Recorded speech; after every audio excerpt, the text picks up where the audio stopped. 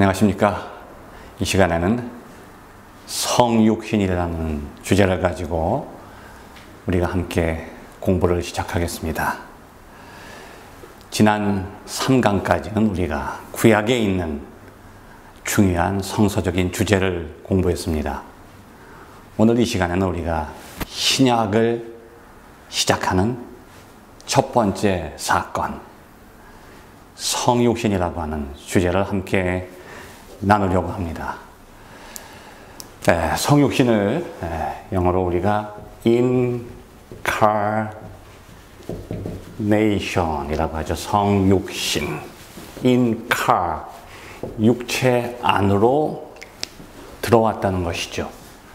다시 말하면 하나님께서 인간이 되셨다고 하는 것입니다. 그런데 우리가 물론 하나님이 인간이 되었다. 동정녀가 아기를 가졌다. 아기 예수께서 말구 위에 탄생하셨다. 그리고 동방박사들이 그것을 증언하고 있다. 그런 내용들이 성육신 사건을 설명하는 그러한 이야기를 구성하고 있죠.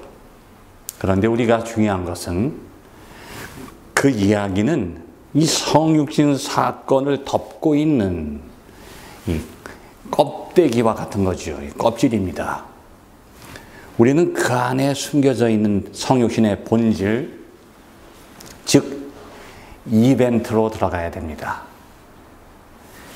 이 이벤트라고 하는 사건은 이야기야, 이야기라고 하는 그 껍질을 형성하고 있죠. 근데 우리는 자칫 잘못해서 그 이야기라고 하는 껍질에만 관심을 가지게 될 수가 있습니다. 마치 동정녀가 아기를 낳은 것이 성육신이다. 아니면은 하나님의 아들이 세상에 태어난 사건이다. 그런 피상적인 설명에만 머무를 수가 있죠. 그런데 우리가 중요한 것은 성육신이라고 하는 그 사건 속에 담겨 있는 본질이 무엇인가? 그것을 먼저 우리가 깨닫고서 이야기의 설명을 이해하는 것이 중요하다고 하는 것입니다. 우리가 성육신을 접근할 때 어떻게 어떻게 하나님이 인간이 되었는가?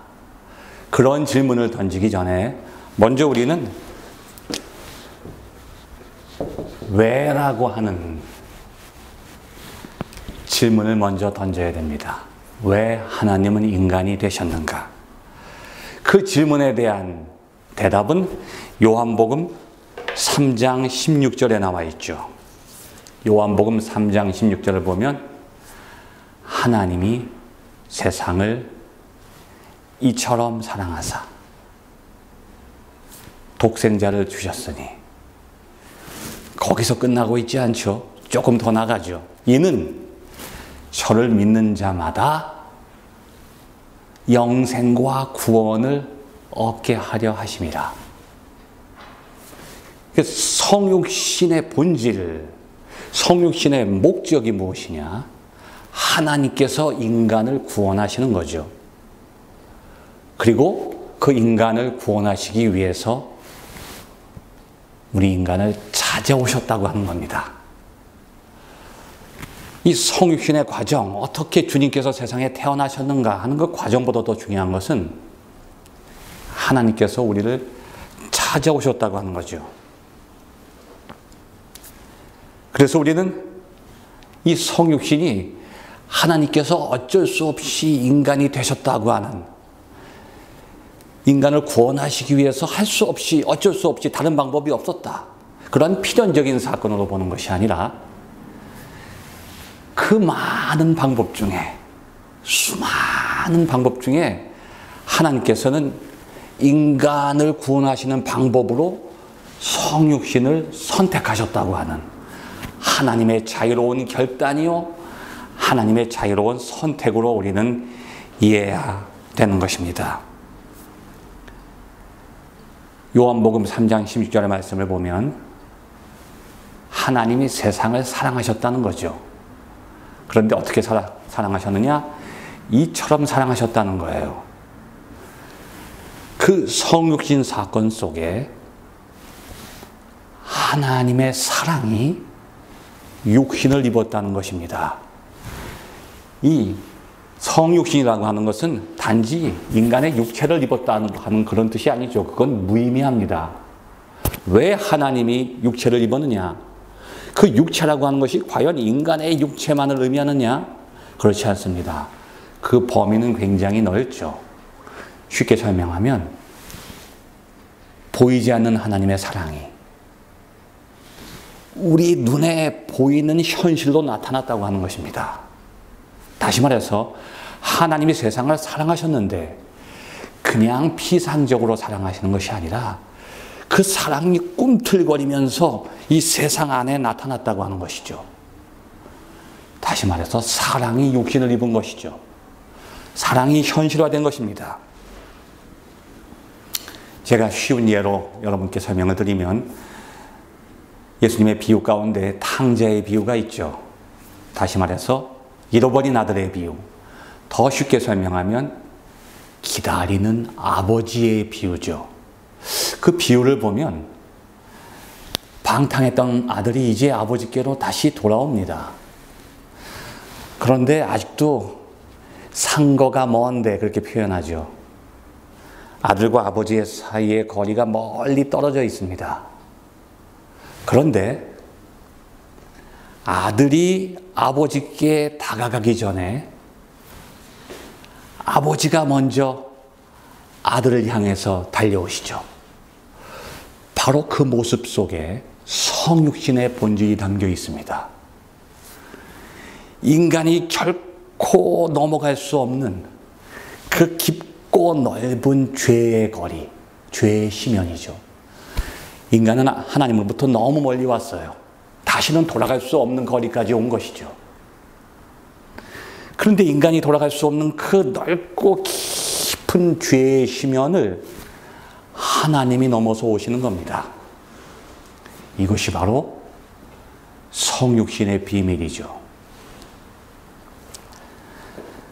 그래서 우리는 그 성육신의 본질을 우리가 생각하는 그러한 신이 인간이 되었다는 사건으로 이해하는 것이 아니라 하나님께서 우리와 함께 하신다는 임마누엘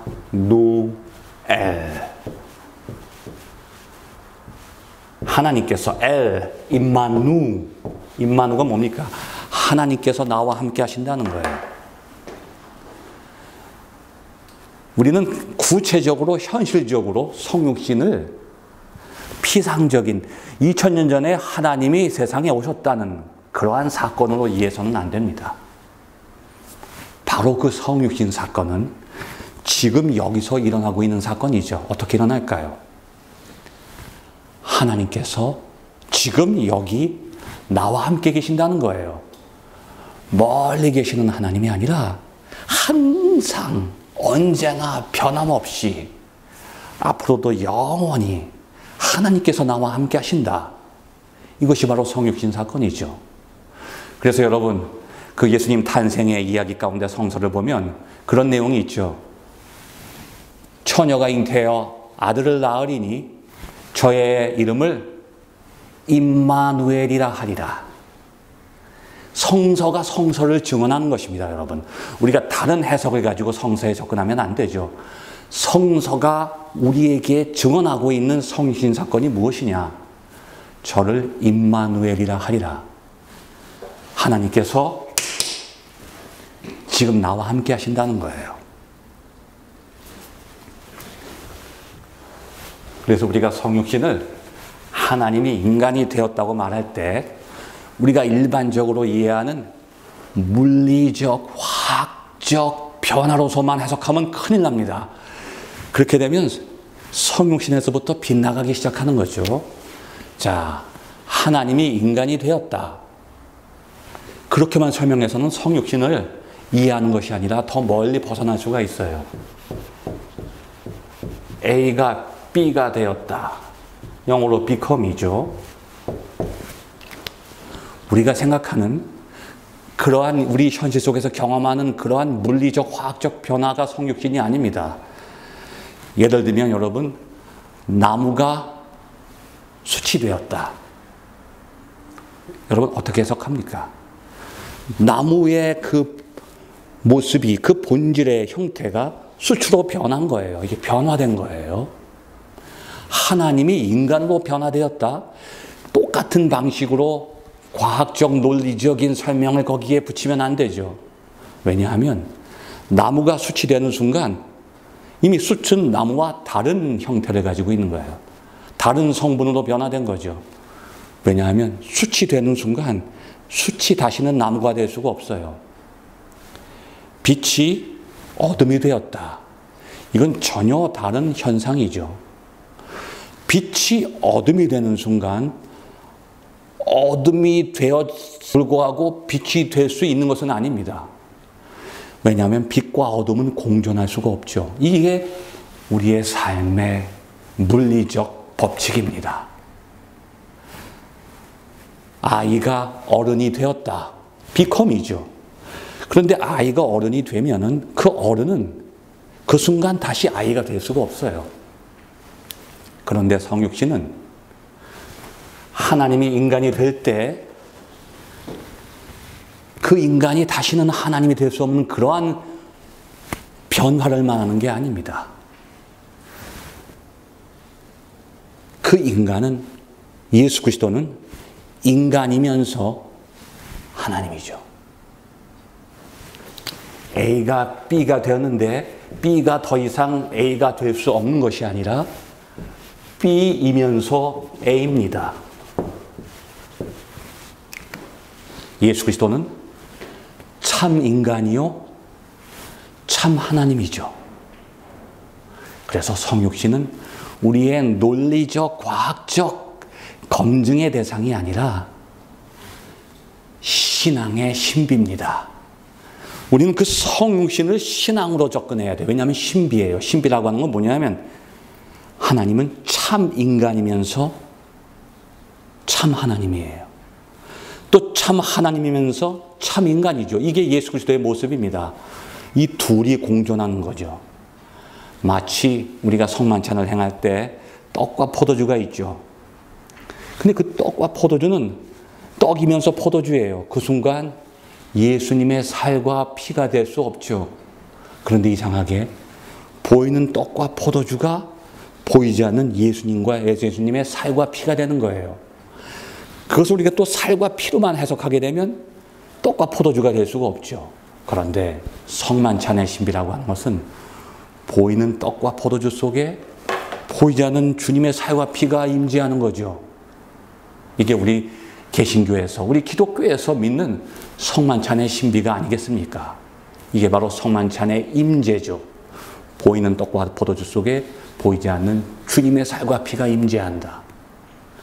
보이는 것과 보이지 않는 것이 공존하는 것이 바로 성만찬의 신비인 것처럼 성육신의 신비도 하나님이 인간이 되셨는데 그 바로 그 인간이 인간의 모습으로만 존재하는 게 아니라 그분은 바로 하나님의 본질을 함께 가지고 계신다고 하는 것이죠.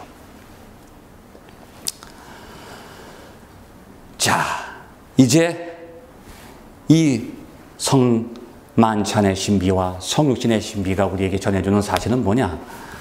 그 인카네이션이 인카네이션으로 끝나는 게 아니라는 겁니다. 이것을 대문자로 쓸 때는 예수 그리스도의 성육신이지만 우리가 이것을 소문자로 쓸 때가 있어요. 이 소문자라고 하는 것은 이것이 바로 성육신이 우리에게 적용된다고 하는 것입니다.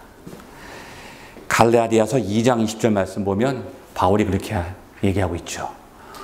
지금 내가 사는 것은 예수 그리스도를 믿는 믿음 안에서 사는 것이다. 나의 삶 속에 보이지 않는 그리스도의 삶이 함께 있다는 거예요. 신비예요. 내가 사는데 내가 사는 게 아니에요. 그리스도가 사는 거죠. 그런데 그리스도가 사시면 내가 완전히 사라지는 게 아니라 또 내가 살고 있는 거예요. 이게 바로 그리스도인의 삶의 모습이죠. 우리는 성만 잔의 삶을 살면서 또 성육신의 삶을 산다는 거죠. 내가 그리스도의 살과 피에 참여했어요. 그 순간 나는 그리스도의 성육신에 참여하는 게 되는 겁니다. 다시 말해서 우리가 예수를 믿는 순간 예수 그리스도의 삶에 참여하는 거죠. 그것이 바로 성육신입니다. 우리의 믿음이 내가 주님을 믿습니다 하고 끝나는 것이 아니라 그 믿음이 우리의 삶 속에 육신을 입는 거죠. 다시 말해서 이 성육신이 인간에게 적용되면 무엇이냐? 현실화를 말하는 겁니다. actualization, realization. 나의 믿음이 육신을 입는 거죠. 나의 사랑이 육신을 입는 거예요. 나의 소망이 육신을 입는 겁니다. 다시 말해서 내가 하나님을 믿는다는 것이 보이지 않는 피상적인 의식 속에만 있는 것이 아니라 나의 삶 속에 그 믿음이 육신을 입는 겁니다. 이것이 바로 incarnation이죠. 예수 그리스도께서 우리에게 incarnation의 사건으로 나타나셨다고 하는 것은 우리를 향한 축복이기도 하지만 우리가 그러한 incarnation의 삶을 살아야 된다고 하는 우리를 향한 명령이요, 우리의 사명이 되는 것이죠. 다시 말해서, 우리의 믿음이 우리의 행함 속에 성육신돼야 된다는 거죠. 또한 우리의 사랑이 그냥 하나님 사랑합니다. 감정으로 끝나는 것이 아니라 사랑의 실천 속에 육신을 입어야 된다고 하는 겁니다. 여러분 선한 사마리아인의 비유를 보면 영생이라고 하는 것이 내 마음속에 숨겨져 있는 어떤 하나의 살아 숨쉬는 생명으로 끝나는 것이 아니라 그 영생이 죽어가는 사람을 도와주는 사랑의 실천 속에서 육신을 입는다는 거죠. 그래서 이 사랑이라고 하는 것도 영생이라고 하는 것도 우리의 삶 속에서 드러날 때 그 사랑의 의미가 있고 그 영생의 의미가 있는 것이지 내 안에만 갇혀 있는 것은 저 밖에는 생명이 존재하지 않고 내 안에만 영생이 있다. 이건 거짓된 거죠. 그것은 이미 죽어버린, 썩어버린 것이죠. 마찬가지로 우리의 소망도 아무리 지금 우리가 사는 현실이 어두워도 우리 안에 소망이 있으면 그 소망이 육신을 입습니다. 어떻게 육신을 입을까요? 이 깜깜한 고난의 현실 속에서 미래의 밝은 빛을 소망할 때 그 빛이 지금 여기서 나를 비추는 겁니다. 여기서부터 어둠이 물러가는 거죠. 이것이 바로 소망이 우리의 삶 속에 육신을 입는 것입니다. 이 시간 그리스도의 성육신을 여러분이 경험한다고 하는 것은 그분을 향한 믿음과 사랑과 소망이 여러분의 삶 속에서 육신을 입는 것이라고 저는 여러분께 설명드릴 수 있습니다. 끝까지 경청해 주셔서 감사합니다.